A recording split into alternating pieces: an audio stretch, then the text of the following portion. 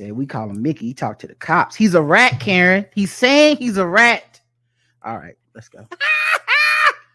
hey, welcome to another episode of the Black Guy Who Tips podcast. I'm your host, Rod. Joined as always by my co-host. Karen. I was chewing some gum. I took it out because I'm a Negro, so Yeah, I let's be I know- professional. yeah, I, I would be all in your ears. So I yeah. was being really considerate. I almost forgot I had it. Mm-hmm. Mm-hmm. I like your hair.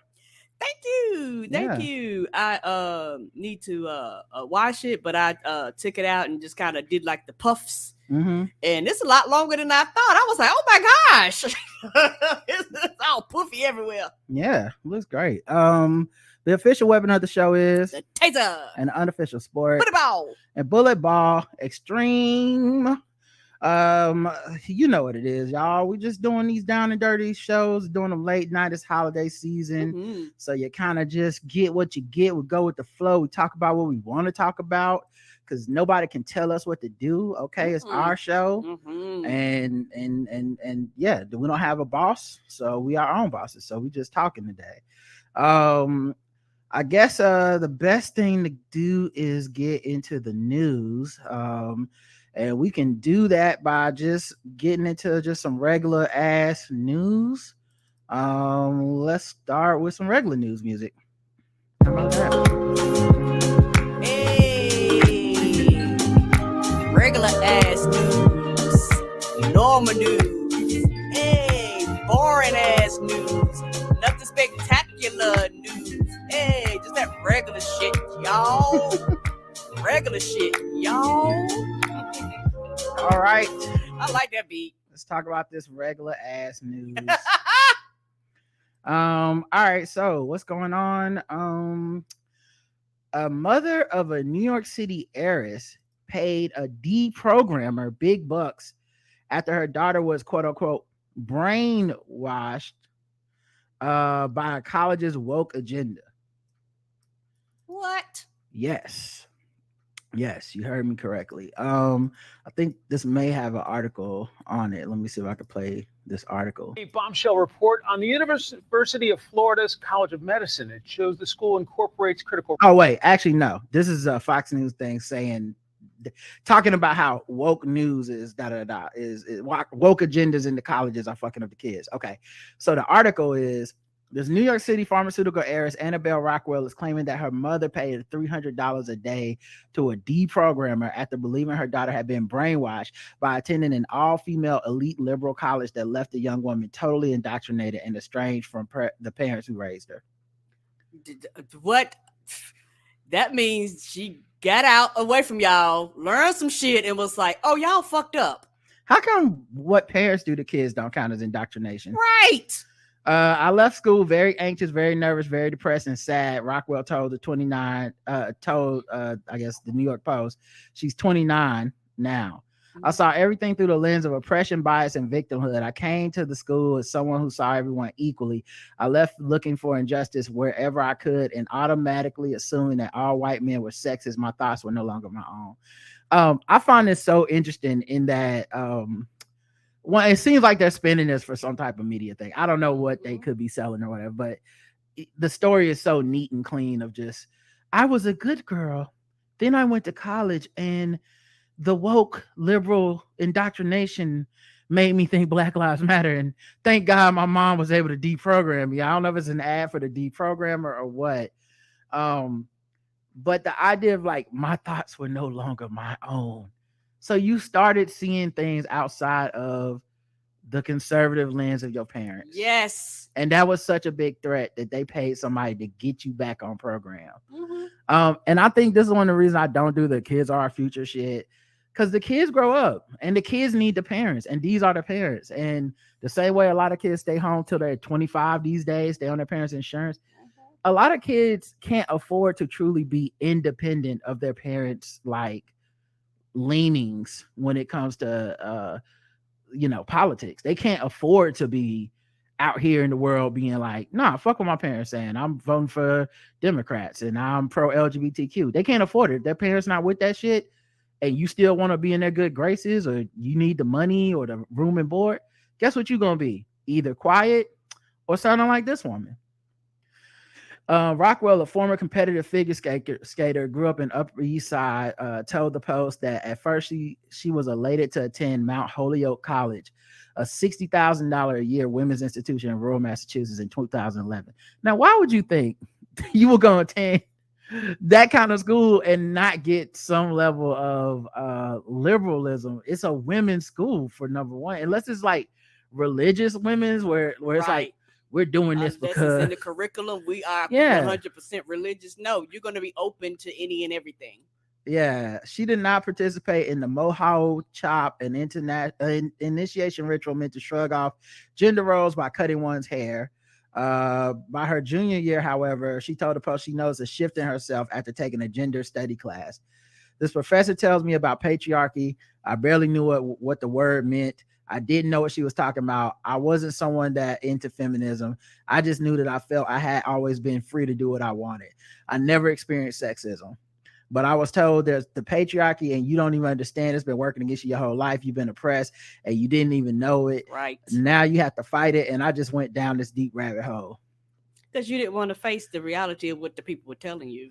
Yeah. And I'm I'm not saying it's impossible to be affected by by like the group think and the group peer pressure that comes with um any group dynamic, whether you agree or disagree with the group. But what I think is funny is the reason I think it sounds like a product, she's not even talking about like I got on Twitter or something. She's talking about 2011. I was just at a college and the college indoctrinated me. And it's and the colleges are such a big boogeyman for the right wing Yeah, media. get them on strip education because they feel Yeah. like the because the studies have shown that uh you need a dumb workforce, and I'm not and I'm not, I'm not saying that to insult workers because I'm a worker too, but you need your workforce dumbed down Right. because when your workforce is dumbed down, guess what they'll do with low wages? Guess what they'll do with abuse? And here it is at the end.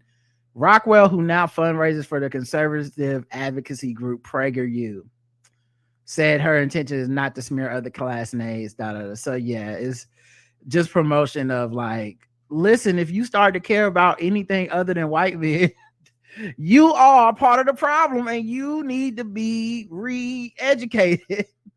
Good grief, white people really be putting this shit in the news. Like this is good. This is a good story. Everybody should learn from this. Yeah, because this is similar to other white people. Hey, parents, you know, don't don't fear if your child goes out and all of a sudden start telling you that you're flawed and the things that you tell them are wrong and shit like that. He, basically, you promoting the program. Here's a program to quote unquote deprogram them. Right. Um yeah, and I still don't see where the like deprogrammer truly comes in. Like I'm looking to see okay, so her mother um said that uh she threw a vase in the window in anger or what her daughter.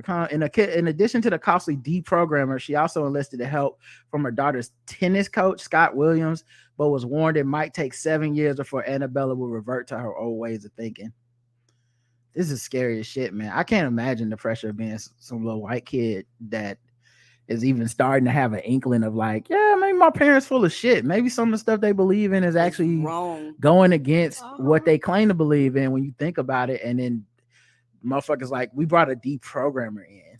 Yeah, because the worst thing that could ever happen is you realize that all the sh- things we've been showing you is bullshit. Because I can't speak for nobody else, but I can speak for myself.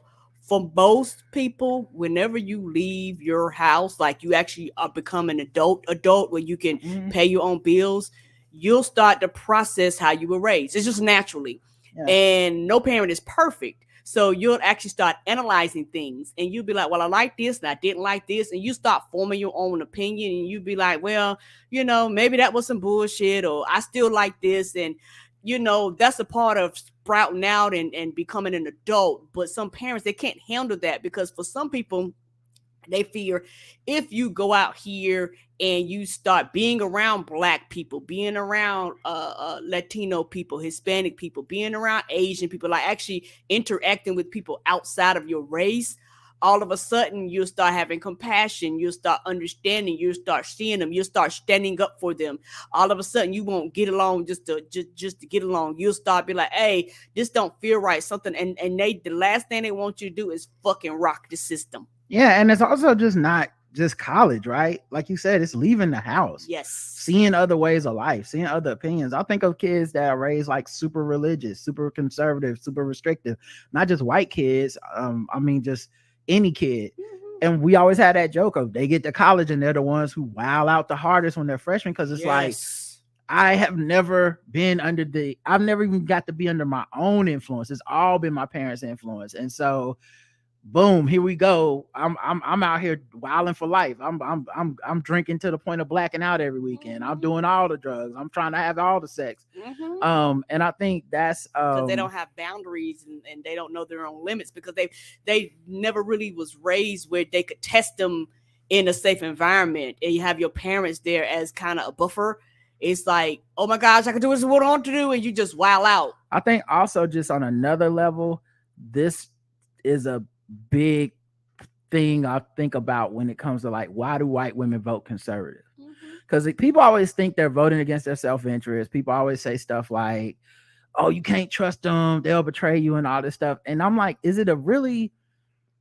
is it really a betrayal if they weren't on your side, really? correct because what voting liberal voting progressive really means for a lot of white people and, and white women is going against your family structure going against your value system you were instilled with to do the opposite and they want to belong to that unit you know the Mhm. woman is the key to the unit and the power of a unit and so i think the idea that her parents are willing to spend thousands of dollars to get and and thinking it would be a seven year process to get her to stop being considerate of other people that were not white men considerate of other people. is Wh- the the the the, uh, the wherewithal and the money that they and effort they put into that white women are never gonna be free.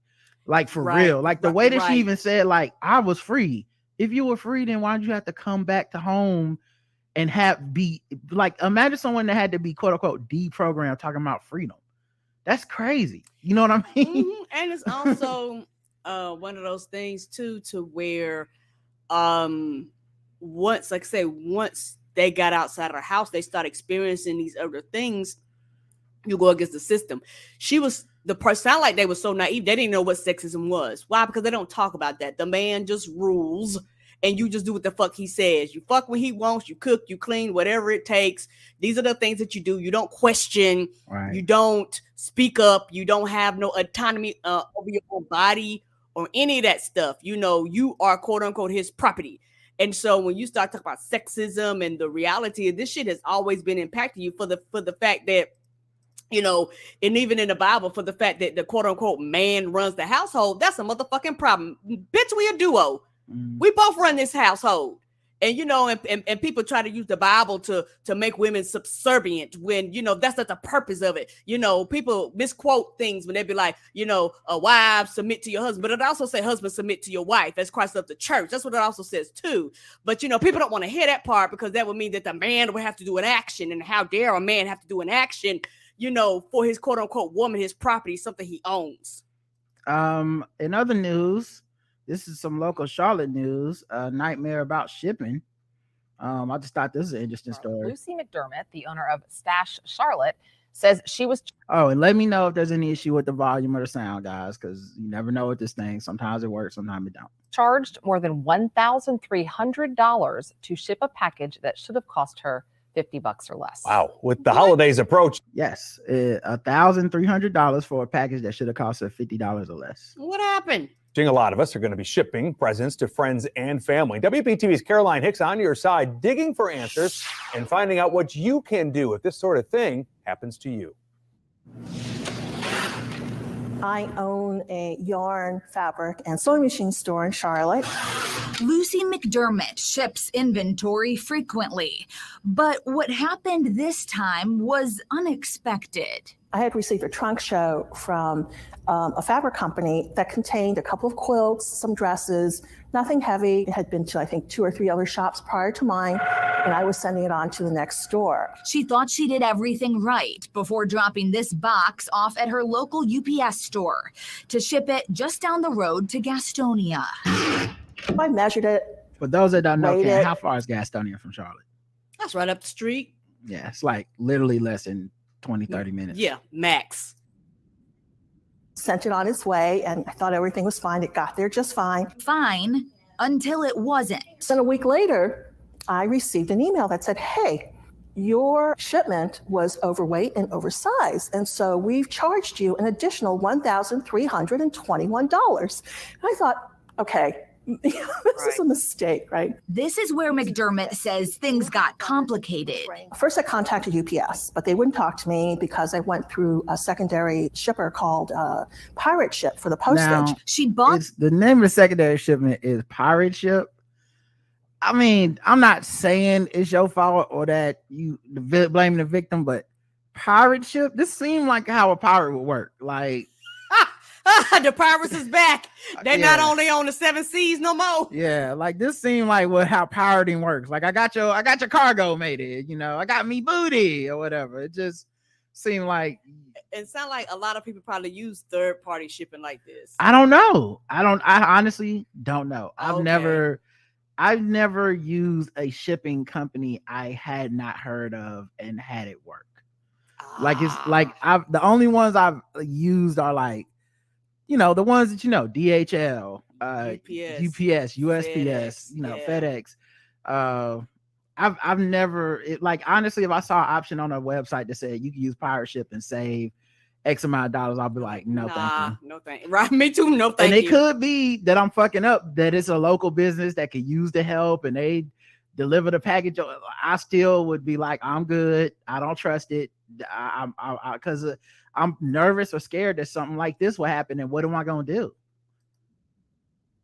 the shipping label through that company, Pirate Ship, for a discounted rate. So I contacted Pirate Ship, filed a dispute, submitted all the documentation, pictures, and a week after that, I got an email that said, Your dispute has been denied. got She tried to speak him with- and was like, look at me, look at me. I'm the captain now. Someone in the company, but all she got were automated responses. At this point, Sorry, as a bot, I couldn't find that answer for you.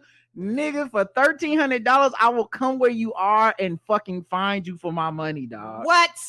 What? I will be at the office's first fucking thing in the morning. Oh Fuck my god! that. Do they even have a physical office? I bet it's in Nigeria. Okay, I'm sorry, Nigerians, but come on. Actually, y'all be kind of proud of this. So somewhere Raphael is like, yes, uh, NFTs. Ah! I'm absolutely livid. And that's when I contacted you.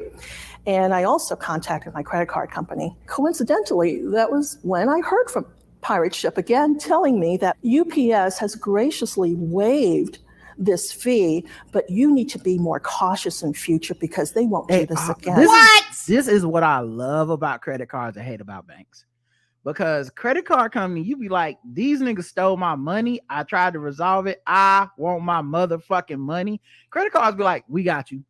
Yeah, here's your money back. And guess what? We gonna investigate. Right. Yeah, when the credit card company get the call and everybody get the action like they got motherfucking sense. Yeah, credit card company don't just do you like uh Your like bank. like your bank is on some like you show it's fraud. I mean, it- it's like no credit card like something didn't happen, they ain't deliver.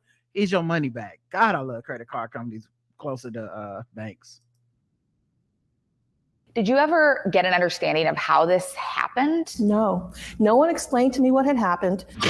So I reached out to Pirate Ship to get answers. A spokesperson telling me somehow the machines saw the package as being larger than the carrier's maximum limits, which at that point, very expensive penalties Somehow are it applied. saw it as being, but was it or not? right. And what and how much bigger did it think it was? Thirteen hundred dollars. It think it was a fucking car. Like that's crazy. Right. Blame the machine. Kiss my ass. Oh, this will scare the shit out of me. Right. And I guarantee you there's some shit they do all the time and and and and, and shit like that. And they go back and forth. And people just like fucking it, they just pay. Mm-mm. Uh-uh. Somebody gotta get hurt. First Paul of all, who the fuck got thirteen hundred extra dollars? Who just got it sitting around like, oh, okay, they, they got me for thirteen hundred, but you know, I, I like not lost ninety six bricks, had to fall back. I'll be all right. With the Better Business Bureau says it's a lesson we should okay, all now they go learn other shit. I don't care about this, but yeah, I was like, what a nightmare. Pirate ship. What were the other shipping companies she didn't go? Shady Shippers. Black market shippers. right. And so basically, dude, telling me what we've been doing, just go straight to the because I guarantee you, you went straight to UPS. UPS would have handled that. And I bet you, guess what? They machines wouldn't have mistakenly oversized your package and you Yeah. showed them the paperwork. Yeah. First of all, that's ghetto as fuck that it would even do that. You know. Right. It's programmed to do that. Trust. Yeah, they have a website, Pirate Ship, ship packages with Pirate Ship. Number one choice for small businesses and entrepreneurs, no monthly fees, markup, or hidden cost. I think thirteen hundred dollars is pretty hidden as a cost. Nigga. like You be better mm-mm. off paying the fees. I, I guess some I guess UPS Fed they must have like monthly fees to give you like a discount if you join a membership or something. Well, no, they just say that it's it. You can save up to fifteen percent compared to what it costs to go to the USPS. But I like the USPS is one of the few things in America that actually runs well and costs less than it should. I don't even know. Like, if you honestly, if your business need to get fifteen percent below USPS, it might not. Business might not be the thing you need to be in. Mm-mm. Cause good grief. All right. Right. Um uh Balenciaga, the fashion line, uh sued uh their own ad campaign people. Uh they filed a $25 million suit over a controversial ad amid BDSM teddy bear backlash. Good God. Um, yeah, uh, it filed a lawsuit against the producers of a controversial ad campaign that included a child pornography court ruling amid backlash over the luxury brand's BDSM teddy bear ads. Uh, the fashion house brought the suit Friday against production company North Six Inc. and set designer Nicholas Des Jardins and Who his thought that was a good idea? BDSM for kids? and his eponymous uh, company for the inclusion in one of the ads of legal documents from the U.S. Supreme Court decision on child porn laws. The fashion brand ad also showed unsettling pictures of a child holding teddy bears, dressed in bondage outfits, and ads that came out around the same time. The two-page court summons doesn't mention the BDSM teddy bears, um, but they are trying to seek redress for extensive damages defendants cause in connection with an advertising campaign Balenciaga hired them to produce. Now, I'm guessing that at some point it has to be approved by you, or else how does it get into a magazine or an advertising spot? Like someone at Balenciaga said yes to what y'all got back. So, I mean, unless they just completely went rogue and the, the ad campaign, you knew Yup. nothing about it, and it- without right. approval, it just Y'all approved one thing and then they did something else. Yeah. yeah, Trust, it's some emails, some paperwork got signed. Like they're gonna be like, well, such such approved this. like, I we don't understand. Y'all Yeah. should just told us no. yeah. So they Twenty-five said, million dollars. Of course they're gonna fight this. right. Um, what do you mean? Twenty five million dollars? Of course they're gonna A, fight. lo- a lawsuit like like the people that did the BDSM, they're gonna be like, well, y'all approved this. Like, Oh see. well, I haven't heard their Oh. side of it yet. Oh, okay. Um, but uh, yeah, they but Balenciaga is saying, you know, this is what happened. Now I'm looking at the pictures, and the thing is, I'm look, I'm not a pedophile. I don't know how pedophilia works, to be honest, y'all. But it's like a little kid holding the bear. I mean, it's like it's apparently is is not bad enough they can't put it in this unless there's some other images they aren't showing. Oh, look like the look like it's in like a little harness thing. Yeah, like the the bear has like a spike collar and all this shit. I mean, it just it looks to me it's more that it looks stupid. Then I'm like, oh my god, this is so sexual. Like it, the kids don't even look like they know what the fuck the bear is or They any don't. of that shit. You know they It's- don't. you Kids are know, oblivious. Yeah, These are smaller children. For those of you that can't see it. Yeah. I like I, I don't like I'm not saying no one should be offended, but I don't find it like if I saw this picture without knowing this article, I wouldn't be like, my god, they are trying to make child porn. I'd be like, that's stupid. Ah, but like that's inappropriate. what is this? like what are you even selling are you selling the bear are you selling like what the fuck and who like who is a bdsm teddy bear for like i don't i don't know what i don't know fashion i don't know what this is about but yeah it just seemed more stupid than anything else and it seemed like someone other than me would have thought it was stupid before putting it in a fucking advertising thing Mhm. but it sounds to me because like Kim Kardashian had a statement about it and how it was disgusting as a mother of children, and she's reevaluated her relationship with them as a as a fashion brand. Like, so it's pretty big pretty big deal Deal, for her to even say something because you would think that with them suing their own advertising unit or what, you could just be like, well, it look like they handle it. Uh, they ain't got nothing to do with me. But even she's like, nah, this is too far. So I guess we'll find out. yeah, we'll we'll, we'll see kind of what happens. But yeah, with businesses, for most businesses, that's too many checks and balances. Uh, uh, you know, unless you went through and then they had some extra shit or went went rogue or some shit that you was like, the fuck is this? I could see it being a problem with there. But yeah, it's too many checks and balances, and it crossed too many people's desk before. Yeah. You know, because that's too much money. It crossed too many people's desk before it hit hit the airways. Who was the person that thought this was hot fire until the, Some, somebody thought it was flames. who was the person that thought this was hot fire until the fucking pushback? Because that's what happened. Somebody was in the office like, yes, this is it. This is what we want. This is what we need. And then and then somebody was like, uh, have you seen Twitter? We're trending, not the good way. Not in a good way. over Elon Musk. Uh, all right. Um, Tinder users say situate situationship is a valid relationship status. what that mean? Um, Is that a it's a complicated? What's that? situationship is when you're not da- quite dating someone, but you're not just sleeping with them either. If it sounds murky, it's because it is. Young singles are down for the vagueness, however, as long as it's clearly defined. In in an in-app survey among Tinder users ages 18 to 24, the UK, US, and Australia done last month, one in 10 respondents said they prefer situationships as a way to develop a relationship with less pressure. The app saw 'Cause a it's not a full fledged commitment. the app saw a 49% jump in members adding situationship to their profiles from January to October this year. Yeah, they let you know up front, not looking for a relationship, like you know, casual if it turned into something cool, but you know, don't expect to get basically hundred percent of me. I think uh also these like the kids now, especially since the internet, uh I think they like labels. hmm Um, as much as they kind of don't want to be defined by anything, they want to define everything. Um, I mean, you you know, I, I, we saw the start of this when it was like Facebook has 37 different genders, and people were like, "What?" You know, our generation scoffing at it, but I mean, you go fast forward a few years, and like everybody got some different shit. You know, oh, I'm a sapiosexual, or I'm a this, I'm Mm-hmm. You know, stuff that we think didn't need a label, you know, that we're like, oh yeah, okay, I, that's sure it's got a label now. Yeah, so I think situationship as a romantic, you know, term for whatever tryst or entanglement you're in, that kind of makes sense that they be into that, you know. I think also coming out of the pandemic, you probably got a lot mm, a, a uptick in all this shit too, because now that people got choices, they can go outside. It might be getting a little complicated.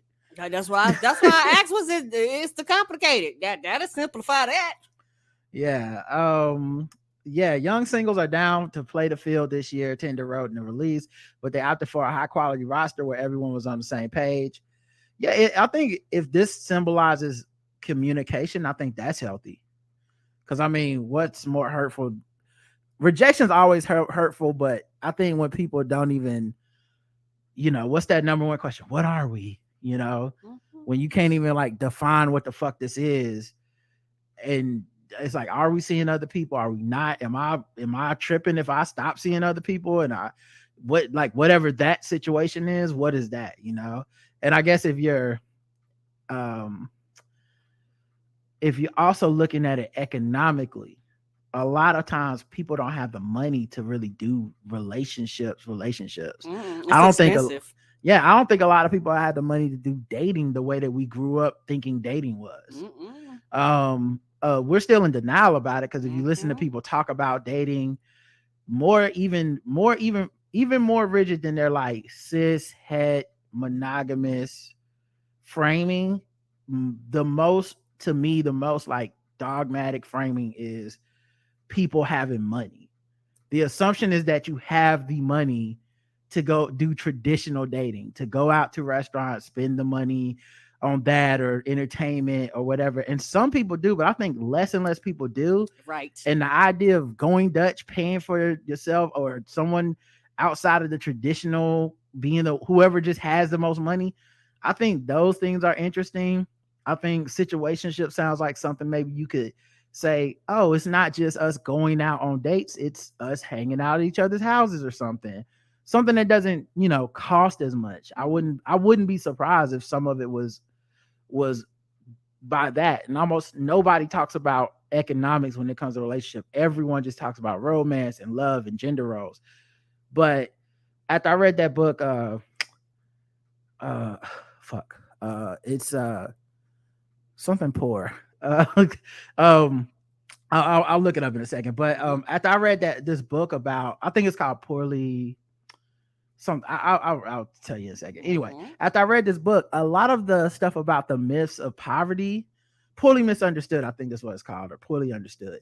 But um, some of the myths of po- poorly understood, yeah, that's what it's called. Some of the myths about poverty, like if you get married, you're less likely to be poor, and that's why we need to promote marriage in lower income families That's not and then da da da da da. And then, but I mean, it's correlated in that statistically, if you look at it, it it's you can actually fa- factually prove married people are more likely to have the stable household, household, more income, blah blah blah.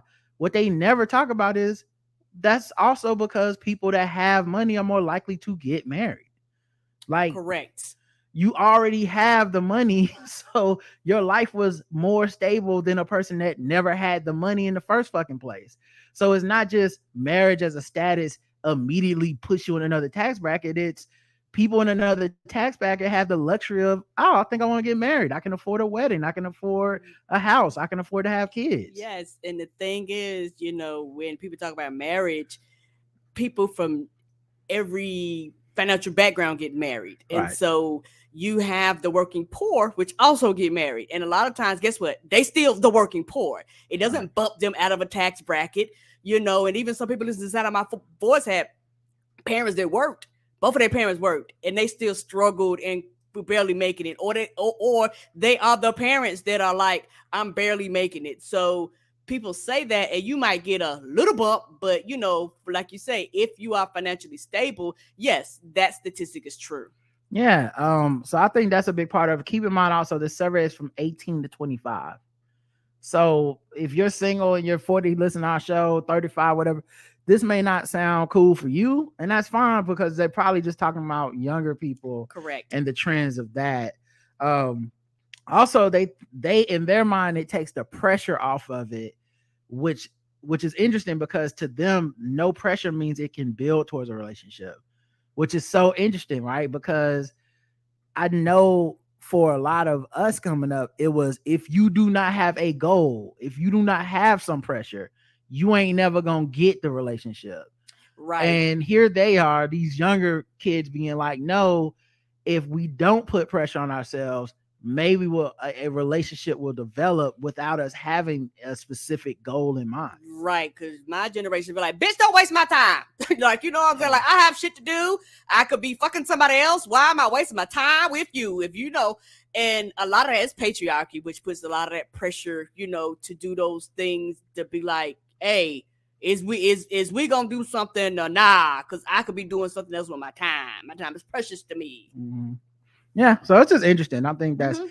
it sounds like it's more about vibes or having a good time than necessarily building towards something. And I wonder if that's a cycle too. Like as they get older, will they then feel the pressure? Because I wonder if you gave us a survey from 18 to 24, most of us would have been like, Yeah, I'm cool with whatever. Right. And then once you get to like to that age where there's peer pressure and family pressure to like be moving towards some type of goal, I wonder if that's when people go, no, situationship ain't gonna cut it for me. Either you like, like, are you gonna meet my kids or are you not gonna meet my kids? Like, we need to figure this out early and often, you know.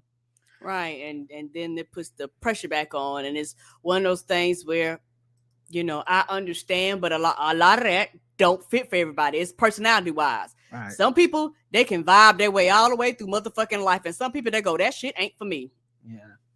Uh, while most men don't have enough close friends.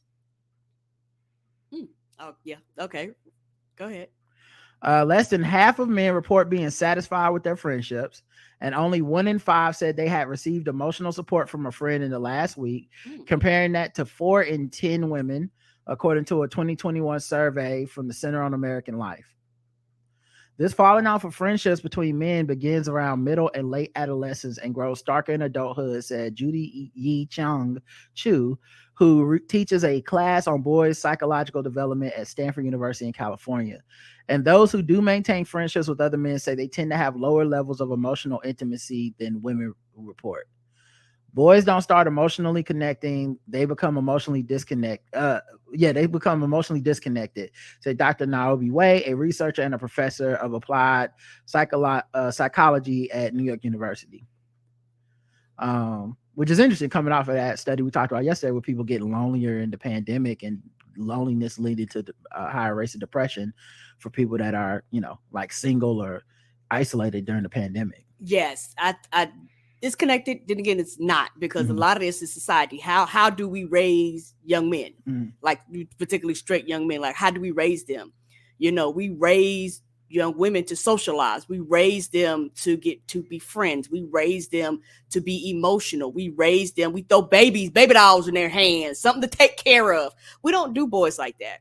I think also like the labor of friendship and relationships is something that is instilled in women and girls from an early age that and is reinforced throughout your entire lifetime. Mm-hmm. Whereas for men the labor of the friendship isn't necessarily considered. It's not saying you shouldn't be friends or that you're not there for your friends or something, but like the friendship being something that can take work, be work, you get better at something that you know you strive for and and maintain, I think is that's definitely not something that has been instilled in me from the perspective of men need to do that. Like what kind of like when someone talks about the value of a man, I think a lot of times friendship and caring for others is not near the top of what makes a man valuable to people. Right, right, and and and it's also this is just like I say I'm not a man, but me on the outside,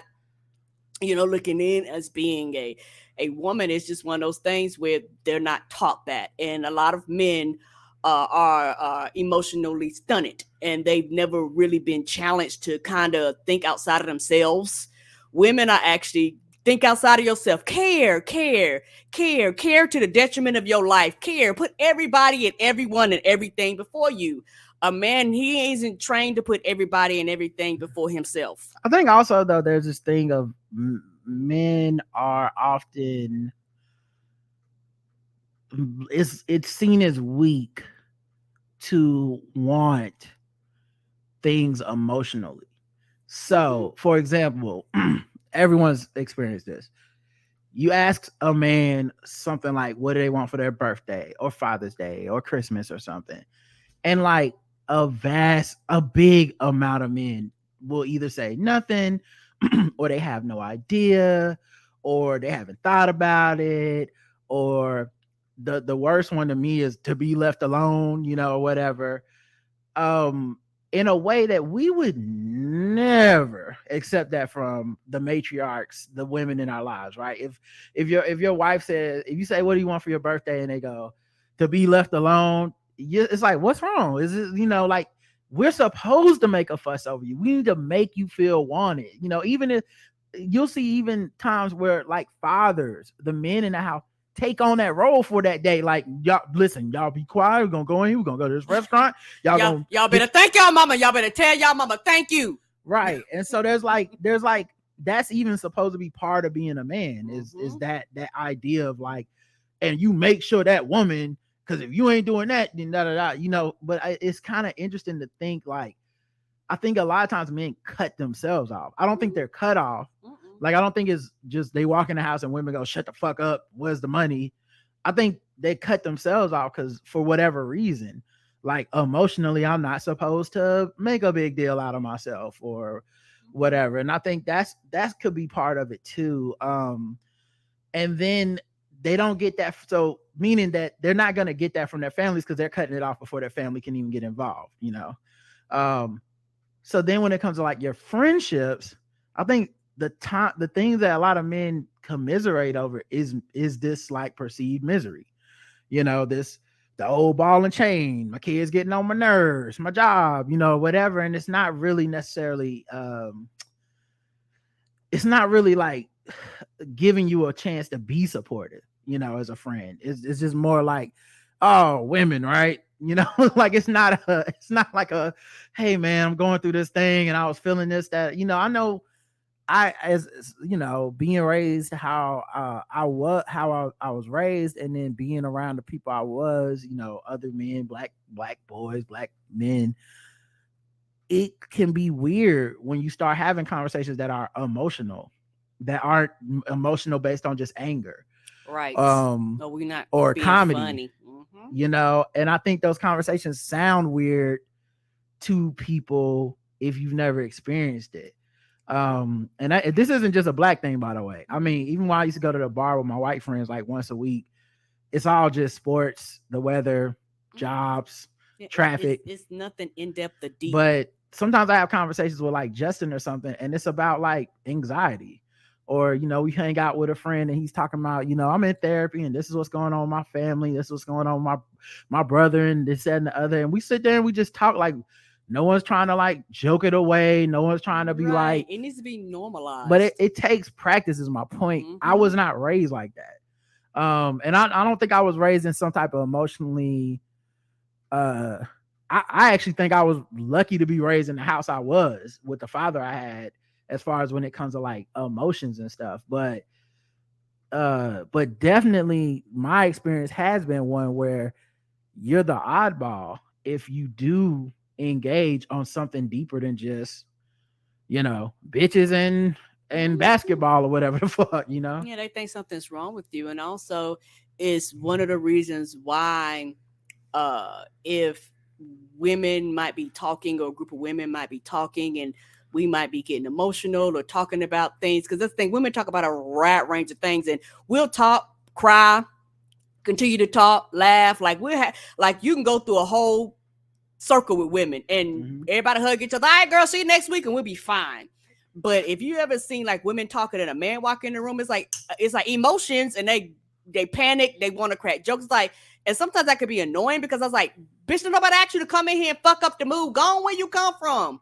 yeah i think it you know i think it takes uh practice to be in that mode. I think a lot of times humor and anger are like this shield that men are taught we can put up to keep us from you know the creamy caramel nougat inside you know? It's like no we gotta have this tough outer shell of uh of just like rock you know rock solid dark chocolate you know i'm saying we're Toblerones guys i'm saying uh, it, it uh something else I've realized too, and I know I said this before.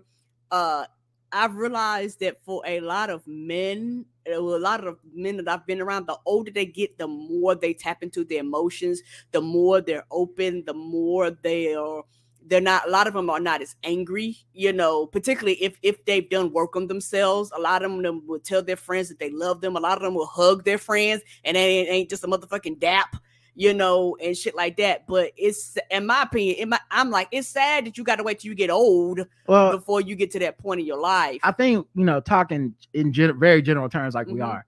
I think it works both ways.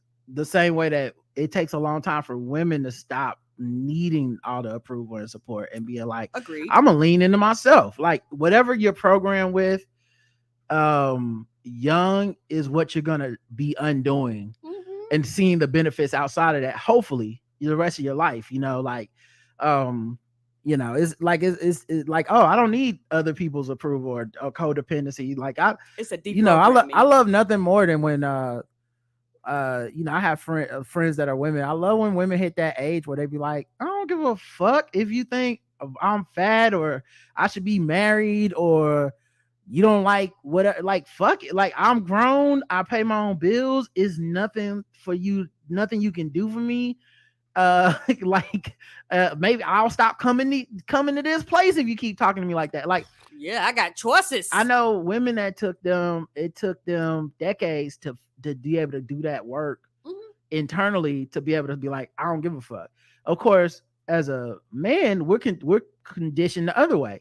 we're told to not give a fuck in times when we really should, you know, Right. when you should be seeking connection, when you should be talking to somebody, when you should care about when something is bothering you and you're pretending that it's not. And mm-hmm. it and so as you said, men get older and then all of a sudden they come into like, oh shit, I I am fucked up about this. I, this does bother me and I haven't been talking about it. Um, but yeah, I think a lot of it is just patriarchy, man. The way we're taught to engage with each other, right. because a lot of this isn't just men don't experience these things. It's Mm-mm. Am I allowed to share this thing? And if I do, am I gonna be ridiculed? Am I gonna be right. uh kicked out of the group? Am I gonna be made fun of? If I'm gonna be isolated? Right. So let me just pretend everything's fine when I when it's really not. Correct. And it's also one of those things too to where a lot of men use their wife as the emotional support that they actually need to lean and depend on other men for. Possibly. I not, think not all, but some do. And so. This is what I was gonna say though, real quick. Mhm.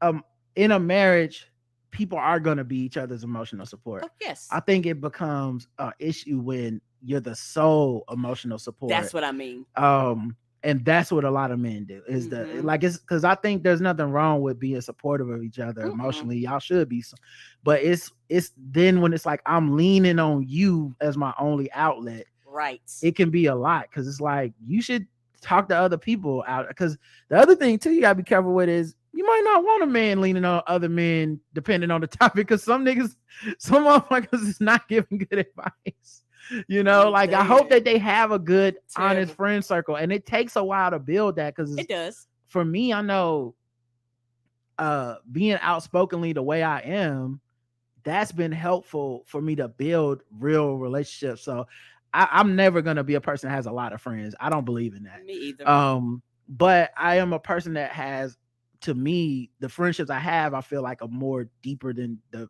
most people's average friendship Mhm.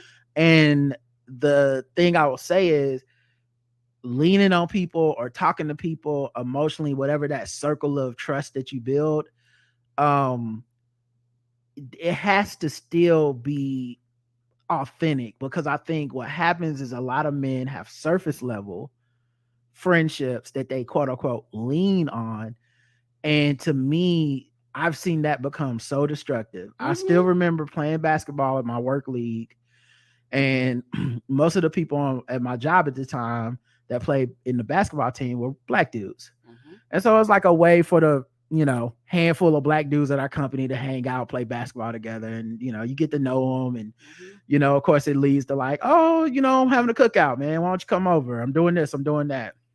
And this was a year where I was out of school and you still were in school. It was your senior year. Mhm. And I remember playing basketball with these men and, you know, men that I kind of, you know, you, you quote unquote look up to them in the fact that they're older, they're married, they got their houses, they got good jobs, they work in the place you work, they, they normally have better, you know, higher positions than you. So it's like something to aspire to. So it's kind of like, okay, cool. Some brothers I play ball with two times a week or whatever. And I, at the time I was playing basketball every night anyway. Mhm. So what's what's another night to play with the team, you know? Right. And so I really enjoyed playing ball with them. We it started spawning off into other stuff. Like, oh, we uh go play ball at a different gym. We'd uh go and uh go, go to someone would have a cookout at their house and we'd all go to that or something. You know, they'd invite you to something. And um I remember going to a couple of those things and, and meeting their family and their kids. And then I remember one day I was playing ball and there's sometimes there's like people that come in and watch us play ball and stuff. If somebody's wife and their kids will come in or something. But there's a couple times where it'd just be like girls sitting there watching us. And I'm just like, all right, I don't know who they with. Maybe they like basketball. They Right. like rec league basketball this much. Maybe they're super fans. Who gives a fuck? Right. It's not my business. Mhm. Um, and I wouldn't have called any of these people my friends, even though I would have said, you know, coworker, colleague, we Mhm. cool. So I remember one time I was there and this girl was there. Um, and and the girls always be dressed a bit provocatively for a fucking rec league game with a bunch of 40 year old married men and shit. And so I remember. because there's no gym or anything around. yeah, this isn't like you going to a sit sideline at an NBA game. Okay, Right. You're sitting on some bleachers in the middle of the fucking Charlotte Rec League uh, basketball courts. And so um I remember this one time this woman was sitting there and I was thinking one like oh she might be my age because I think I was only like 21 22 and these guys are mostly like 35 and older with kids and families. And so this guy is like oh shit man hey talking to another player hey man your wife is here man your wife is here and he's like, "Oh shit, oh no, man, she yeah, she about to pull up, man. I don't, what we gonna do? What are we gonna do?" So they come over to me as the 21 year old single guy whose uh, fiance is still three hours away in Fayetteville. Um, so they come up to me, a guy who's gone to their fucking family barbecue and shit, No, they kids. and they Rod, my wife come in. If she asks you about that the girl in the stands, you just say she with you. And I said, I said, one, I said, no, I'm not. Listen, judge me how you will. I don't measure my friendships and relationships this way. I'm not the homeboy that to, to help you cheat. I'm just not that guy. Mm-mm. I'm never I'll gonna be that guy. Told on you. It's low key offensive to me that you thought I was that guy. right. I wouldn't because I would, I look like I'm that person? I would never ask you to do some shit like that. Correct. And you just need a different type of friend, and you just need to know your friends better. I just ain't that dude. I'm a square. Leave me out of it.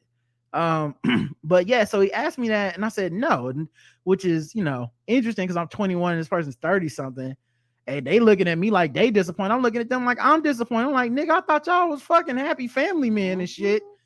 You niggas is out here helping, trying to help this nigga cheat, and they can't say because the families all know each other. You can't say it's one of them because it's like, oh, she, you know, my wife and my kids. So you can't say, mm-hmm. oh, that's Because y'all done been all over each other's houses and shit. yeah. And so I'm like, well, then if she's coming up here with your kids and asking about people in the stands, she already think you cheating. Correct. Why would she even ask me that shit? And maybe they told her that was my girlfriend or some shit, or maybe they didn't. I don't know. I never got involved in it. But I still remember like the kind of disappointment I felt. Like, mm-hmm. huh, like that's that's who what y'all about. That's what y'all own. And the way that everyone got information, what makes me think back to my whole Mm, point of okay. when it's like lean on other men, a lot of times you can't go to another man for some mature shit because niggas be on fuck shit a lot of times. Yeah, they do. And unless you oh unless you stand 10 times 10 toes down and now this is what I'm about, you know, the way that I typically do, then sometimes dudes will be real with you. But it's a lot. But you have a to show of, them that I'm I'm I'm like, yeah, don't don't come be with no bullshit, dog. it's a lot of Mhm. work that really isn't worth it unless you really are that way. I've had so many real conversations with dudes my whole life, but it's almost a hundred percent because of the how they see me. Like Right, they see me see as you. relationship guy. They see me as guy that Mhm. doesn't mind looking soft in love. They see me as guy that Right. uh doesn't cheat. They're like, here's the he's the weirdo. Let's go talk to him. yeah, like but but they'll but it's interesting because they'll be that way with me and they wouldn't be that way with another dude you see what i'm saying like like it's just Mm. you know i've had so many relationship talks with men that i by the way talks i'm not seeking out right. i, I, I you, have you don't prompt them. Yeah, they just i have come and talk to friends i'm i'm good not talking to this i don't know you like that. A lot of people have a lot of deep conversation just randomly with you. because the other thing Mhm. is i'm pretty not judgmental so like correct. if you are on some cheating shit or whatever, I don't I'm never gonna like give you a speech or try to like wake you up. I'm just like, apparently that's how you get down. We're not friends anyway. Peace. You know, like it's not my Mhm. business, and whatever comes of that is what'll come of that. So like it's never me seeking it out, but I've had so many conversations with people that are like, it's almost like I can not be full of shit around you, or Right. you're not encouraging me to you're not measuring me by things that other people would consider like toxic quote unquote Right. so now i You're can not talk to judging you me. Right. yeah and so i think it's interesting that um you know anyway so when i hear about a lack of friends i think about like what is your friendship measured by and how deep is it in the first place because if your homeboy comes to you with you know something serious and not and something that be be vulnerable, are you prepared? All right. Are you for real right. or are you on some you know and for some people it's an age thing like they were prepared now but at 25 they would have said man let's go get some bitches let's go out to the club Right. you know fuck that Right, shit when you actually need to talk to them about their heart being broken or whatever else they're going through, right? They sometimes they just need that emotional support. and i know i'm i'm talking a lot here monopolizing it i don't mean to be mm-hmm. but the other thing i would add too is there's a shit ton of anger resentment entitlement very dangerous emotions in the average man and you don't have to look any fucking further than the statistics of violence in america whether it be mass shooting domestic violence interpersonal violence whether it be you know just like men have a violence problem because we have an emotion problem and when you can't can express that. Your emotions you can't live in all facets of your emotions. When you can't be vulnerable you turn into something you turn like we know the formula and we know where it ends and it, it normally ends with things aggression and violence and, and acting out and it's terrible to see people not even be able to find themselves until they're somewhere locked up in a cage before they have to really do some internal reflection about where and why they are that way. And the programming is so reinforced when it comes to that shit is almost impossible to even communicate with people. I've i've i remember i've talked to people before where you just you're talking to a man and as they're talking i'm realizing like oh you're kind of incel. You don't know you're incel. Right.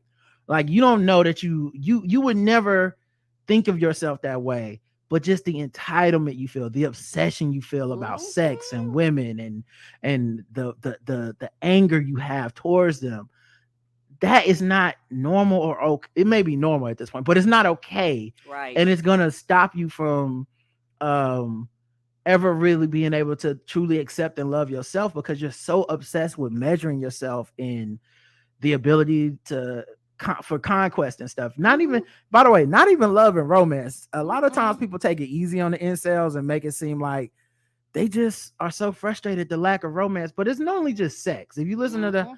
how Just they talk it's like well, if I was a drug sex. dealer, you know, it's like if you was a drug dealer, you'd be a, probably a drug dealer not getting no sex. You kind of a a, a whack nigga. Right. And and and and the thing is, and this is on the out, like I said, I'm on the outside looking in. A lot of I watch anime. Bitches don't even want to fuck me. It's like, well, you might just be a whack ass nigga that loves anime. It's like sometimes it could just be you. Yeah, and They I act think like they act like women can't pick up on you being whack. yeah, I think so. Earlier when you talked about men getting older and stuff, I think getting older allows you to do some of that introspection if you're Mhm. inclined to, and I think the opposite for women. And you know, we're very generally very cis head. Right, Y'all right. get y'all know what we're talking about. Right. um but the opposite is for women where women get it takes a while for them to get older and start being like it is about me you know what i'm saying like like, Yeah. like i mean not it is about me but But yeah. it isn't about me in that a lot of the shit people are heaping on me ain't got it's not personal it act they Right. they don't know what the fuck they talking about Mm-mm. they just see a vagina or a woman or and this they start with a bunch of stereotypes and and advice and shit I didn't ask for and a lot of pressure that I don't need. Mhm. And then as they get older, they're like, it's about me and for me. I the value I put in myself. What how do I feel? How does this make me feel? Why should any how it the shit makes why should how it makes other people feel be the big denominator on what I do? I think that's what happens for women and for men it goes from me, me, me, me, me, selfish to getting older and being like, I need other people. How I make other people feel is important. How I communicate with them. How how I'm there for them. How they're there for me. I think it just we're you're just it's like watching two opposite things curve the opposite way. right because that's kind of how you've been trained and i know for a and even for myself the older you get that is true particularly being a a, a, a- straight woman uh because that's the only perspective i have. So for me you do get to the point where you be like i don't give a fuck and i actually don't care and no i'm not doing that. No i'm not going there. No i'm not doing that function. I don't give a fuck what y'all doing. You know, the older you get, you're more, you're more, you're quicker to say "kiss my ass," and people don't respond well to that for women. It's like women get like, like men get praised for that, and women get penalized for that. Right. You know, it's like mm, I'm taking control over my life, and I'm telling you what I am and and and am not going to do and all of a sudden i'm the problem and that's where you have to go to the i, I don't care phase in your life and from talking to older women a lot of them said that they didn't actually get there till they got into like their 40s Mhm. for a lot of women they said about 40s to 50s they say right around in there they said that's a lot of older women say that's a sweet spot where you've lived long enough and you've experienced life long enough that you kind of know who you are and what you will and won't put up with and that's why for some uh, men they quote unquote have issues with older women because the older women be like, "Bitch, I'm not doing that. No, I no, no, kiss my ass. I'm not doing that. I'm I, I'm set in my ways, and and it becomes like a tussle because a lot of men, like you said, they still into that patriarchy, and a lot of women is like, "Fuck you" and that patriarchy, and they've done studies, and we've read them here. They say like. Uh, uh, when people get older, men want to get married, and women are like, "Fuck a marriage." Yeah, because men looking for a caretaker in many cases. But yeah, I, I just so I don't find it. Um, I think that study is kind of um just revealing in some things that we already kind of knew exist. And then the last part of it talks about how to build friendships. Um, and how to it says, you know, you got to start small. You don't necessarily have to reveal all your vulnerabilities to everybody. You don't have to have a Mhm. lot of friendships. You got to respect each different friendship and protocol with it and different people's boundaries and stuff. But I think the biggest thing is you have to admit that you need and want other people. Correct. And um, and then the other thing I would add that's not in here is that to me, it you gotta be reciprocal. Meaning Yes. you can't want friends and not want to be a friend. I think Agreed. I think there's a lot of people that see friendships and relationships very transactional now. Um, and especially now that so much of our worth can be measured in follower count and retweets and vir- virality and shit. I think a lot of people need to look at what is the true value of a friendship for them and what is the true true value of um being a friend. What is the cost and the labor you want to put into that? Because I think it's fine to say I'm gonna have three friends and that's probably gonna be it.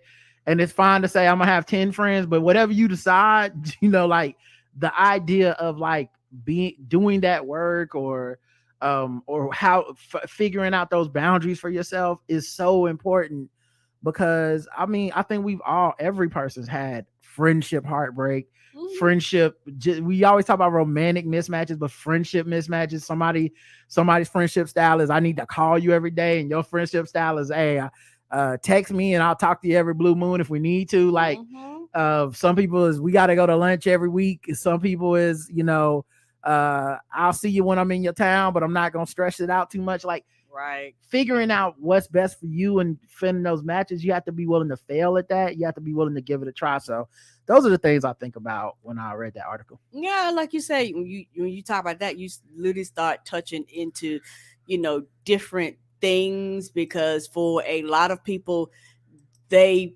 have different levels of friendships. You Mhm. know, for some people, I I can, you know, speak for myself. I have some people I go, well, oh, that's the buddy I go to the movies with, or oh, that's the buddy I go walking with, or oh, that's the buddy, you know, we do this with, we do that with. And we're still friends. It's just different spots for different people because, like you said, you have to adjust the friendship according to the people too. Yeah absolutely so all right let's uh move on into some other stuff uh let's see maybe we do some um let's see is any fucking with black people stuff i feel like talking about yeah yeah we got some fucking with black people we can do uh we pull up the fucking with black people song Who, who, who, who, who, who, who, who, who, who, hey, who, who, who, we just fucking with them people because they black. We just fucking with them people because they black. We're just fucking with them black people. We're just fucking with them blacks. We just fucking with fucking with black people. Hey, hey, ooh, ooh, ah. That's right. Show is focused. Starbucks workers suspended over alleged monkey label on a drink. I don't know if there's an article or just playing. Um, this happened in Annapolis, Maryland. Um, at the Starbucks, y'all. You know, we love, we love the we love the pumpkin spice, but we don't love the racism. I like the strawberry frappuccino. Yeah. Um, let me see if I can play the volume. Let's see. That's how Impeccable Brands, the company that op- Okay. an honest mistake. That's how Impeccable Brands, the company that operates the Starbucks in Annapolis Mall, explains why an employee entered monkey where Monique Pugh's name should have been. if you didn't hear my name, you should have said, "Excuse me, can you repeat yourself?" Not once did she do that. She she labeled me what she wanted to label me. As the only Shout black out woman in the social media. Sometimes I think about the what it must have felt like back in the day before social media, you know, the 80s. Mm. Uh, no, but sometimes I think about like way back in the day, like before even like Before the turn of the century. yeah, or just like when black people used to have to deal with this kind of shit, and it just you know what you did? You went home and you told your wife or your husband or your friend, mm-hmm. Y'all talk about your little and circles. yeah, your family, but you but you didn't you weren't able to pick up your phone, turn the camera on, post it on TikTok, and then if enough people seen it and got outraged, you was on the news that night. Like, mm-hmm. man, shout out to that social media. That is one good thing we don't talk about. right? the shop at the time, Pugh believes the incident was racially motivated. Since the story first aired, we have heard from a Starbucks spokesperson and from the CEO of Impeccable Brands, a Starbucks licensee and operator of the store. In a letter, they told Pugh that they have suspended the employee involved pending further investigation and apologized. Their message reads in part, quote, "We believe following our initial investigation that the label was made in error. However, this is not the warm and welcoming experience we want to create for our customers, and we are actively working to ensure this does not happen again. We are exploring other opportunities to better train our staff in understanding cultural and racial sensitivities to ensure all future interactions are welcoming and Okay, it's a inclusive. popular opinion and a hot take, but man, I'd be feeling bad for these big ass companies when one person do something racist. Cause now you gotta lie, like, oh, we gotta train everybody with sensitivity. It was one racist. We didn't know they was gonna be racist. They should just be fired, and that should be the end of it. Right. I also love the idea of suspension, like it's like it's Kyrie Irving. Like we suspended them five games, and uh it could be more, but they need to figure. yeah, ain't y'all ain't y'all fighting against union? You ain't got no union to fight against. Fire them. Yeah, like why? Why is this even? And I know that sounds cold, to be honest, to just be like fire, motherfucker. But I mean, this seemed pretty, pretty cut and dry to me. Maybe, Right. well- Nobody made a mistake. It was in. Bet you put monkey in there here. yeah, like what's gonna be the explanation that would even be plausible for you to be like, oh, okay, you know what? It shit happens. Y'all serve people all day. Who else did you call a motherfucking monkey? Kiss my ass. Like I thought she said her name was Monkey. I said, what's your name? She's oh wait, isn't her name Monique? Hold on. Let me see. What was her name? Monique Pugh. Maybe she thought like, she said her name was Monkey. Oh my god. Mm-mm. Cause then what do you do? Ask her again, ma'am. Could you repeat that? Oh my god. Mm-mm, I figured it out. mm-mm, I solved the fucking mystery. She thought she said her name was Monkey for real. Well, boy, is that egg on your face? Because I don't even know what I'd do if I if a black person said their name was Monkey. I'd be scared to ask them to say it back. I'll be like, I don't want to say if they don't know it's racist. I'm not gonna tell them. I don't want to be the first motherfucker to let them know. What was your initial thought when you got this apology?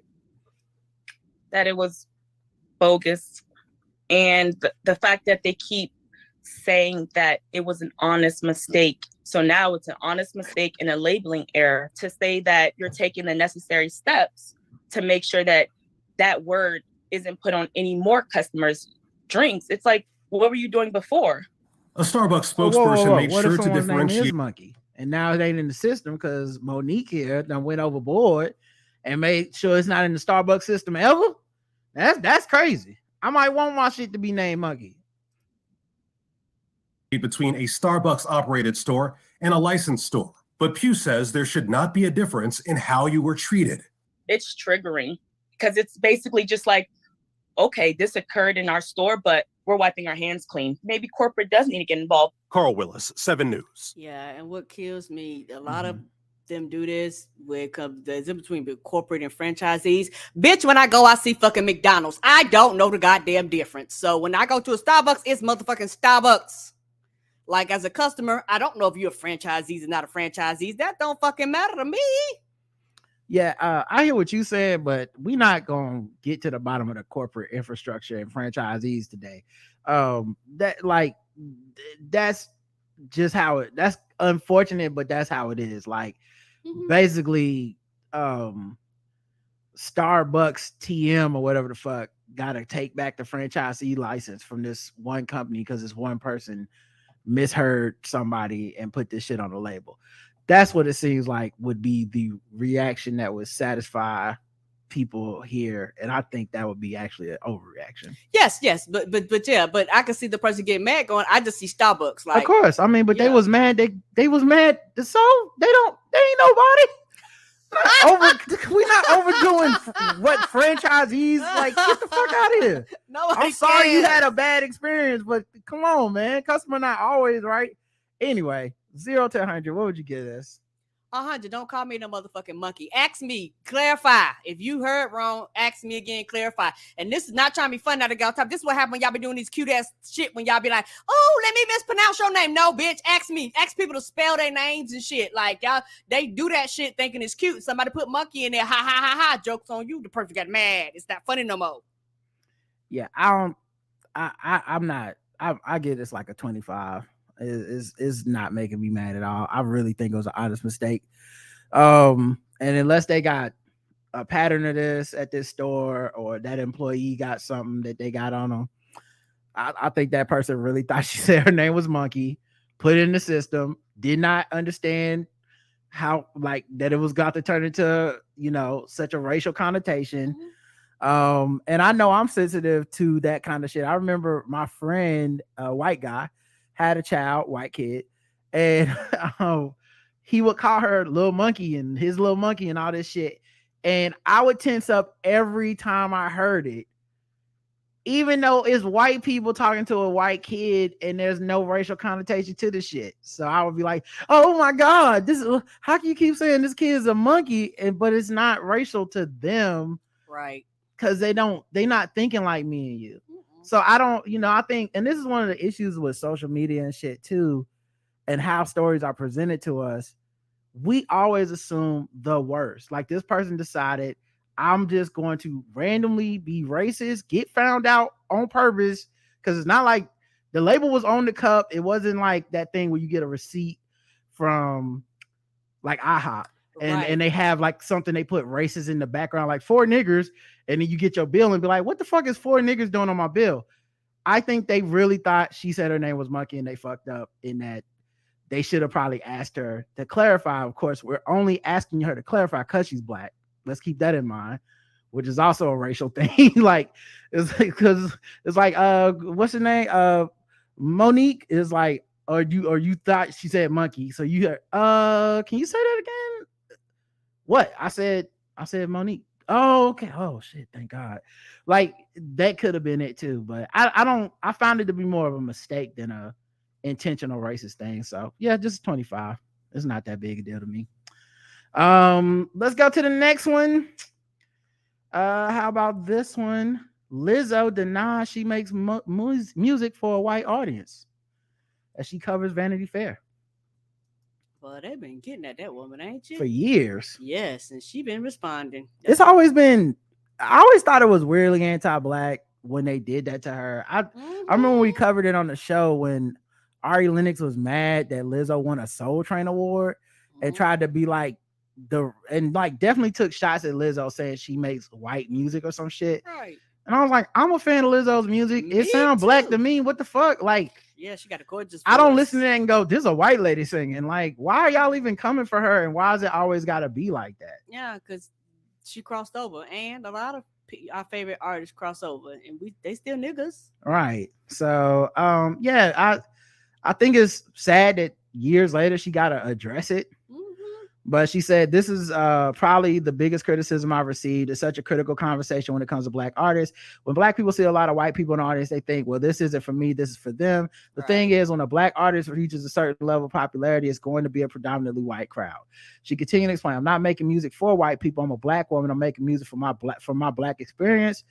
Um, she says uh, she creates music for me to heal myself from the experience we call life. Um, so I'm making music for that girl right there who looks like me, who grew up in the city where she has she was underappreciated and picked on and made to feel unbeautiful. Uh, she says, "Am I doing that?" Yes. Clapping back at her critics, she said, "It blows my mind when people say I'm not making music from a black perspective. How could I not do that as a black artist?" Yeah, and I think there are some artists where you feel like or see them kind of de-racifying their music. I don't mm-hmm. think she does that. Um, I'm not saying it's a phenomenon that never happens. I remember listening to like the Black Eyed Peas, and they definitely made a switch of like, mm-hmm. we're gonna stay as far away from anything racial, make all this money, and we just gonna be, you know, talking about whatever the fuck, but definitely nothing too serious. Mm-hmm. And you know, and I think a lot of times those artists end up regretting that shit and coming back in the later years, like, nah, we we black. But um, I don't think Lizzo's done that. You know, I just think the shoe doesn't fit with her, and a lot of that was people working backwards with either disrespecting her because they liked another artist better, Mm-hmm. or simply being like, if I see white people enjoying something, it must be something wrong with it. Anyway, all right, zero to 100. I can see that. Uh, I guess a 25 because this sounds like an ongoing battle. And you know what? I'm I'm a bump this up to a 75. Okay. And the reason why is because as somebody who likes music, it's very fresh. It can be frustrating for me to see artists kind of go and you know black people support them and then they cross over and black people still support them but you have a percentage to go the second white people eyes are on you they change. Mhm. and all of a sudden you you only make music white people. And you go well i actually make music for everybody you know and y'all everybody. But you know for some reason once white eyes get on me and i blow up and i, and I you know and, and i'm famous all of a sudden i've changed. Because i think a lot of that comes from white supremacy. Mhm. you know, for a lot of us, we feel like you're not ours anymore once you cross over to whiteness. And you know, for some artists that's true, for some artists that's not. Right. But people just automatically just throw and make that assumption just for various different reasons. And now that really bothers me, particularly uh when it comes to uh black women, because I'm a black woman Mhm. and you know, sound like she's had a black ass experience and she's singing these things, and we all, uh, you know, and just because I'm black, you know, I could sing about rainbows and lollipops and you know things that's quote unquote race neutral. It don't mean I'm not black, and it don't mean I'm not a nigga. You know, but for some reason, people just claim once you cross over, all of a sudden you quote unquote sold out or whatever it may be. And it's not for every artist and not for all artists, but it just bothers me particularly once I see this happen and, and to see artists get quote unquote consistently attacked like that. Yeah, I think it by it's definitely a 75 for me as well. I think a lot of times is Lizzo just don't really be bothering nobody, and yet she is so much at the center of criticism in so many different ways from so many different groups. And all of it reeks of insecurity of that group, where there's people that have, you know, the the phobias around people being fat, whether it's people that don't like black women, whether it's people that um you know, like like uh black people that that think she's somehow catering to white folks or something.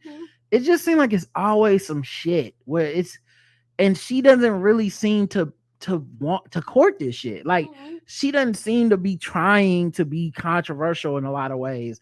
I think I get being I think you know you could argue she was being provocative with the, the the clothes she wore to the Lakers game. Mm-hmm. you know, and I think she meant to be provocative in that Right. case. That was the whole point. but it- to me, no more provocative than you know, Madonna tongue kissing Britney Spears at a fucking you know like like Or, or uh, share. yeah, like like nothing that required the level of hate and vitriol that comes from it. Like normally people just be like, "That's weird," or "You're being annoying," or "You're doing too much." It with her, it just turns into some other discussion that becomes like so fucking charged, you know. And so I hate that she has to deal with it. Mm-hmm. You know what I mean? Because it's like in addition to like Tucker Carlson talking shit about her, she also got niggas talking shit because Ari Lennox didn't win an award. As if there's no fucking way to be a fan of Ari Lennox and Lizzo. Some- Right. one of these black women got to go. It can There only could be, one. right? People know? are people are fans of, of, of multiple different artists that sings about uh, uh, uh, an array of different things across, you know, across the board and all that types of stuff. Yeah, so I guess it got to her, and that that's the part that that pisses me off is Mm-hmm. she even got a fucking, you know, address this bullshit because we've seen all these artists, especially these young black women on social media, where it the shit gets to them. It gets back to them. They hear it. People think because we're so uh not insecure what's the word we're so jealous we're so jealous and envious of these people's positions in society and their money and their shit that we just think those things insulate you from your mental health. Like Right. hey you, eh, you're famous. Don't- you got the grammy didn't you? You know and it's like and clearly when this person is in this interview you're hearing the grammy doesn't stop me from having emotions.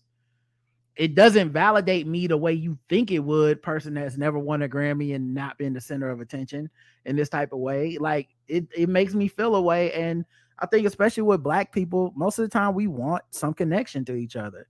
And so to take away that connection or to act like someone doesn't want it it's a it's one of the most hurtful things you can do to a black person. And i think you know she Mm-hmm. had the to go through that. Right. Um all right. Let's uh wrap this bad boy up with some uh some guess the race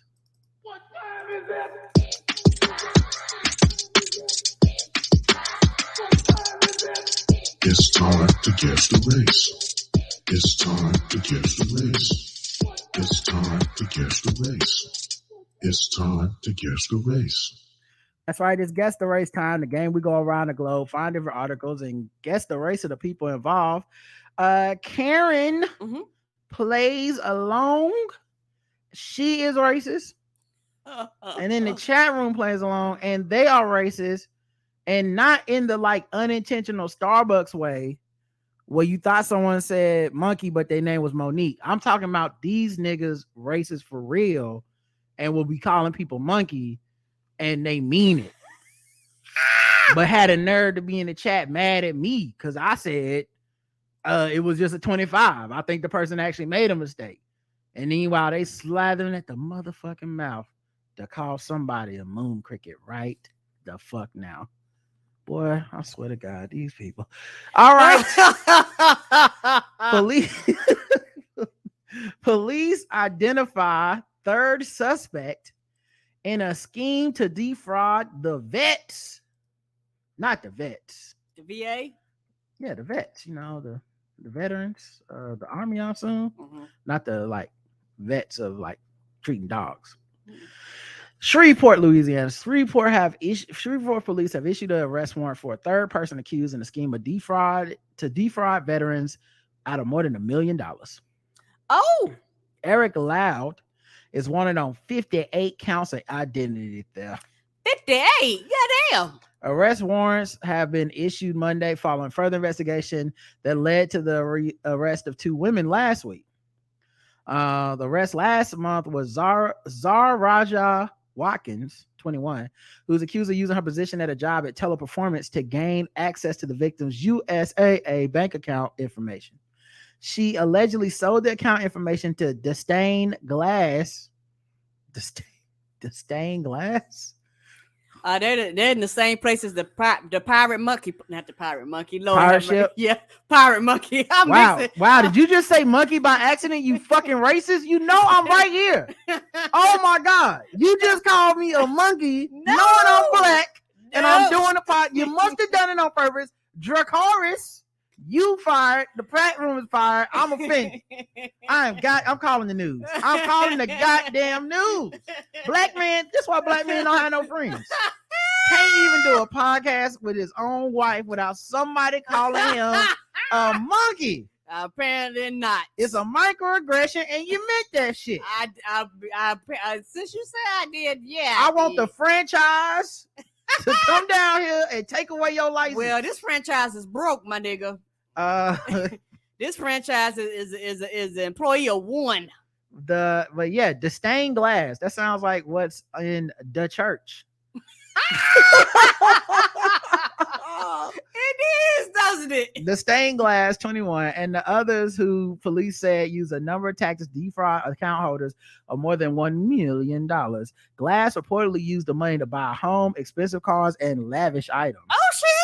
Watkins is charged with 175 counts of identity theft, 175. and Glass is charged with 65 counts of identity theft. Shreveport police asked anyone with information the whereabouts of Mr. Eric Loud to contact them. Now they are all the same race. Karen, guess the race. What are their names? Like, Okay. do you have them? the stained glass. Not sure how that one went over your head. Eric Loud and Zaraja Watkins. Let's give Karen some time Black. with this one. Okay, she decided black. All right. Something about those names, I guess. Uh Elisha says this is nigga shenanigans. Tony says three-time employee of the month at Pirate Ship Shipping White. Thank you for your your services, Black.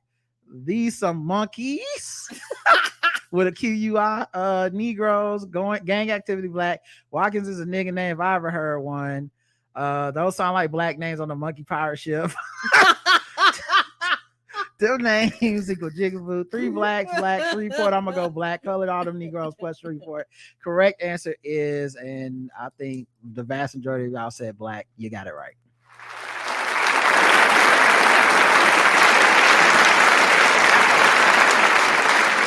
One person said white though.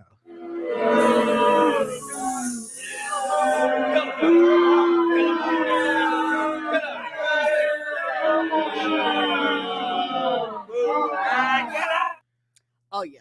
Yeah, that's his picture. And then I knew you know there's a black story because if you Google the women's names, their picture comes up from uh if I'm not mistaken, the image search says from Lipstick Alley. Oh So, no! Yeah, yeah. So They made the lipstick alley. yeah. So at least one of one of the pictures. I, maybe I had maybe it was uh the other one with the stained glass, but this is them. Uh so yeah, they they uh going to jail. All right, let's go to the next one. So far, Karen is one and one. Uh, I mean, one and zero. A man was arrested after a family monopoly game turns violent. Oh shit! This this did somebody uh have a boardwalk? Yeah, he must have. All the all the all the deep blues. Okay, they had the whole corner. he must not. Did they, did they have the jail too? I'm waiting till you're done. Keep going. Oh, okay, I'm you gonna name say- all of them? Go ahead. Yes, I am. Yes, I am. The power place in the water company. all the railroad tracks. Somebody got mad and turned all that shit over. You cheating. Don't be putting no more houses on that. The Tulsa Police Department arrested a man Saturday night after they say a family game Monopoly turned violent. Monopoly is the worst game for a family. Mm-hmm. It's honestly the game. Only people don't that have are, no time limit. the only people that are good at it are assholes. It is Yeah, I'm turning you into a violent rent landlord motherfucker. Ah! Such a terrible game. Uh, officers were called to uh, shots fired near uh, Baltic Place and uh, Mediterranean Avenue. Yes. um, uh, a- near Admiral and Mingo just before 6:30 p.m. The call identified the suspects as John Armstrong, saying he chased her down and fired a shot at her and her father. This sounds like this was on Thanksgiving. Holy So shit. y'all broke out the board games instead of just watching the Cowboys like every other family. Right. Um, Y'all didn't. um, You about to say play Uno, but shit, y'all might shoot each Yeah. other over the Oh, stacking. you nah, we good. When police arrived, they immediately took Armstrong into custody. Investigators learned the family had been drinking alcohol and playing Monopoly when a fight broke out between Armstrong and his stepfather. After knocking over the board, the game board, and turning over the furniture, they were told to take the fight outside. I Armstrong, was like, y'all ain't gonna be, y'all ain't gonna be turning on my goddamn turkey dinner. I'm up all night making this motherfucking dress and take that shit outside they probably was just mad they hadn't the food wasn't ready and it was 8:30 in the, at night. at night. Uh, and they still hadn't ate shit. It was 6:30. They still hadn't eaten. Then it, it came out in the form of Monopoly. Angry Monopoly on Thanksgiving, just no way to go out. Armstrong pulled out the gun after getting a cut in the head. Well, how you get a cut in the head? That seems relevant.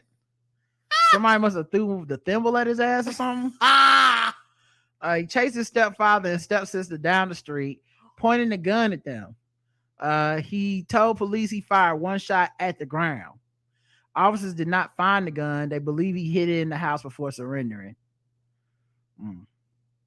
Uh, the uh, Armstrong was arrested and uh, told to and put booked into the Tulsa County Jail. He did not pass go. He did not collect two hundred dollars. No, he did not. So he just he tried to roll.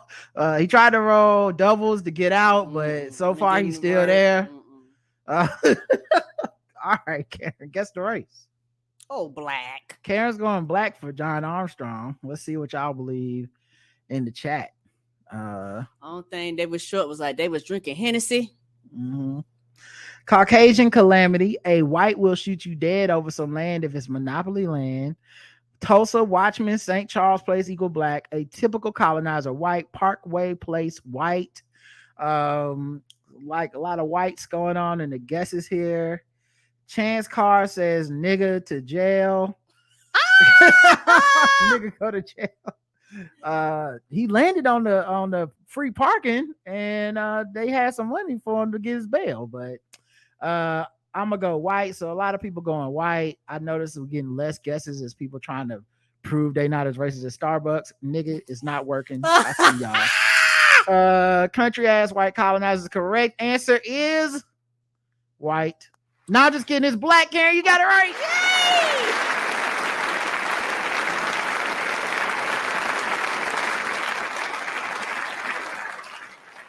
All these niggas said white. I, I said white, and Karen, you shocked. stuck, you stood your ground. You know what? Golf claps. Mm-hmm. You stood your ground, I was, I was like, that sound like some nigga shit. and all of them missed it.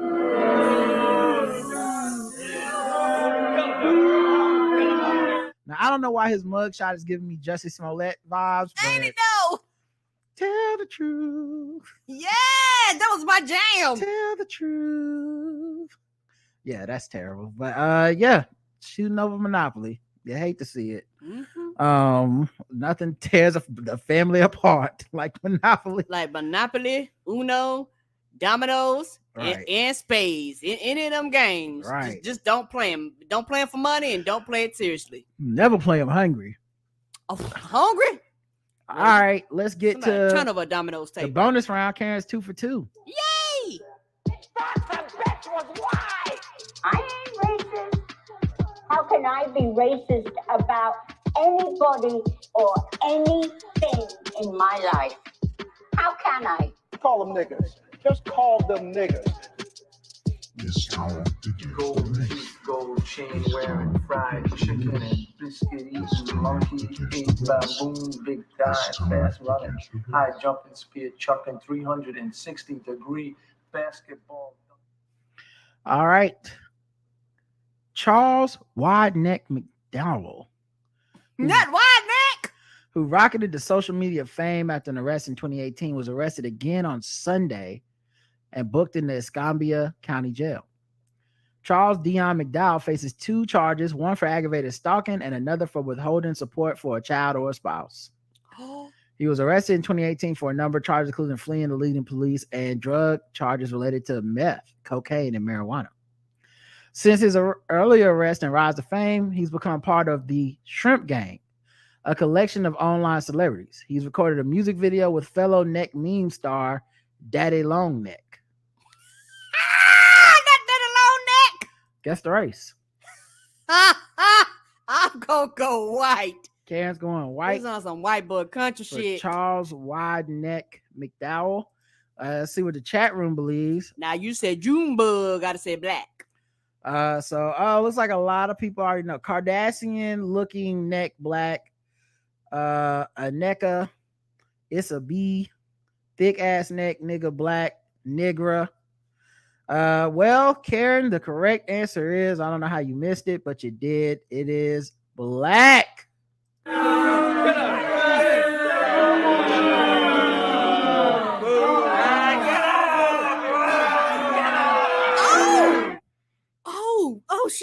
Went lying. His neck made like a motherfucking tree trunk. The hell is this? Oh my! His neck is bigger than his head. What is happening? oh, I was not expecting that. Some people got it right.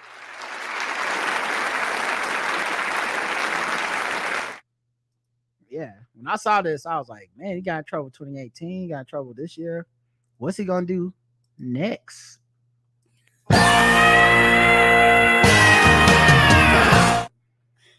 Oh, nobody is made like that. Maybe they'll let him go if he just gives them a full throated apology.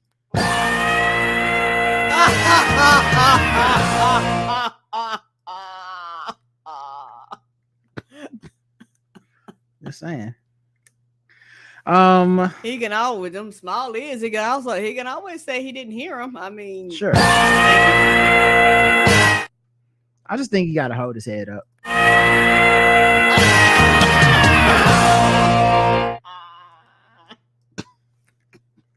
Oh my goodness, that's a lot of neck. Yes, that is. You know, he got all the jokes. Right.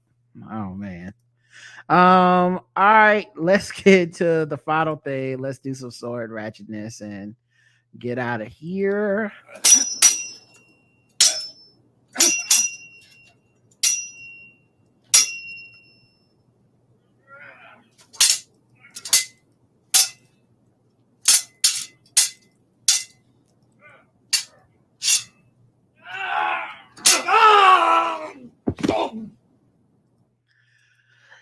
Sword ratchetness. We go around the globe and we find different articles about the scourge of sword crimes in the world.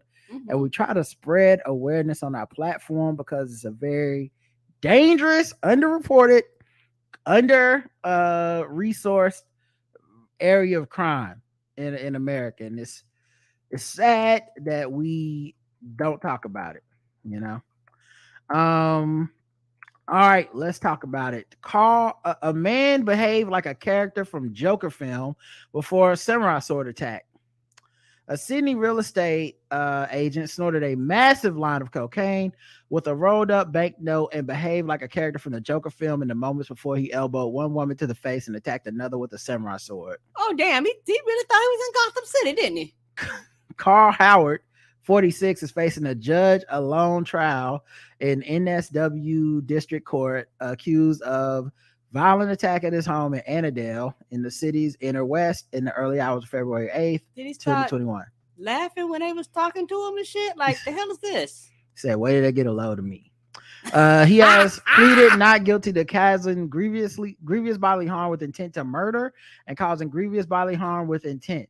He offered Holy shit! Then he was like, "Why so serious?" And then just started attacking everybody. He offered guilty pleas for to two lesser charges: assault, occasioning actually bodily harm, and recklessly causing grievous bodily harm. And prosecutors rejected those. On Friday, I would have Judge Anthony Townsend noted that the acts carried out by Howard were not in dispute, with the sole issue of the trial being his intent at the time. In a statement tendered to the court on Friday, a woman described being petrified and running for her life after watching him swing the samurai sword at her friend. Right. The man said she and her friend had taken cocaine and drunk alcohol with Howard before gathering at his home. And then he started behaving like a little boy with a high pitched voice as he skipped and ran. He said, You want to see how I got these scars? Um, no, I actually don't. I don't want to see how you got those scars. She said Howard grabbed a bag of cocaine, a bag, How much cocaine did y'all have? uh, poured it onto the plate on the kitchen bench, snorted a massive line of cocaine using a note of money before he tried to kiss her friend who looked back toward me in a spiteful, evil, and then he looked back toward me in a spiteful, evil manner. Carl uh, continued skipping and laughing again and said something to, to me like, I need to kill you. You need to die. He reminded me of a scene out of the movie The Joker as he said it with a smile on his face and laughed and sang a child song. Oh, what this really means, and this is sad news for a friend of the show, listener, JL Covan. But I, I gotta say, last couple years, uh, unfortunately, uh, this version of the Joker has surpassed Heath Ledger's version of the Joker in Dark Knight. Once again, making it not the best comic book movie of all time. Because if you can be surpassed by that bullshit, and now people dressing like this asshole and doing crimes, and they saying the Joker, not the Dark Knight, the definitive portrayal of the Joker. I mean, how much has that movie fallen off to people in such a short period of time? I, and I love that movie. That's one of my favorite movies of all time. And I'm, I'm heartbroken as JL, honestly. you know, not you know, maybe not as heartbroken. He thinks it's better than like Black Panther and and sex, but to me, I think I think it's one of the greatest movies of all time, period, up there with Black Panther. And it's sad to know that this version of fucking the Joker is the new fucking get dressed up and do crimes. God. That's not good. He rushed towards my friend as she crouched down to protect herself. Carl lifted the sword above his shoulder, above his shoulder height, before quickly swinging the sword down onto her body. As she screamed out, no absolute panic and fear. The force of him hitting her with the sword made me think he, she was dead. Carl then brought the sword up above his shoulder with his focus on me, like I wasn't even in the room. I rushed toward the top of the stairs, running for my life. Both women managed to flee, receiving help from neighbors. Uh, the CCTV played to the court, and Howard could be seen climbing onto the tray of a ute parked at the side of the road and lying on his back as a police car drove past. Before climbing out and stumbling on the road, he was arrested nearby. Police body cam video showed him writhing on the ground, making growling noises. Uh, they said the guys have some sort of psychotic episode. In a statement, one of the arresting officers described Howard as gritting his teeth, biting his lips, yelling out nonsensical remarks, and repeatedly saying, I'm going to kill you. I'm going to kill you. Uh, speaking of police right from. I'll- the bag of cocaine he just snorted. Of course, he's not in his right mind. Right. Um, and if he would have done the superior Joker, he would have at least had some better lines. I'm gonna kill you. I'm gonna kill you. He would have been like Gordon and, and Batman. They're schemers, you know. Uh, speaking to the police from a hospital bed, Howard asked if the women were okay, and then sobbed, holding his hand on his head, and said, "I don't know what happened. Oh God, fuck, it's crazy. I'm just really worried about them." Uh, he later told a forensic psychiatrist he'd been awake for seven days straight, leading up to the incident, drinking alcohol and taking up to five grams of cocaine a day. Five grams. I don't know how much that is, but that should sound like a lot a day. He went through 80 grams in 15 days, racking up $24,000 of debt of, of, of cocaine money used to buy cocaine. Had to be a better way for me to say that. Dr. Olav Nielssen opined that Howard was experiencing toxic delirium from continuous use of a very large quantities of cocaine You don't say. and lack of sleep, and was most likely incapable of appreciating that what he was doing was wrong. What if that's how what we find out really motivated the Joker? Just lots of cocaine. all of the drugs. All of the drugs. like, like, how did he get powers? Oh, he don't have powers.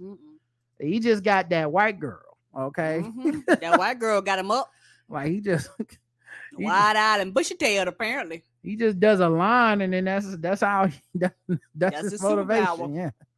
Batman can be defeated by fucking hype. All right, y'all. That's it. We'll be back uh probably next week sometime. We're gonna take the rest of this week off. Um, thanks for listening. Uh, as always, sign up for our Black Friday special.